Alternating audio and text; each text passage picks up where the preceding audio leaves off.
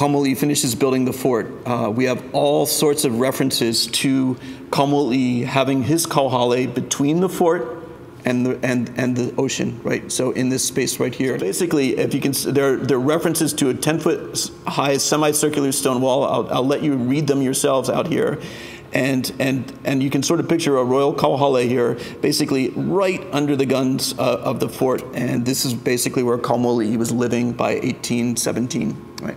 Uh, there's one reference, a guy named Peter Corney, uh, right after the Russian period ended, that said that Kaumuali'i was living inside the fort. That's the only one I know that said that he was living inside, but all the others uh, suggest that this Kauhale had moved a little bit from farther away and moved basically right underneath the guns by 1817. Right.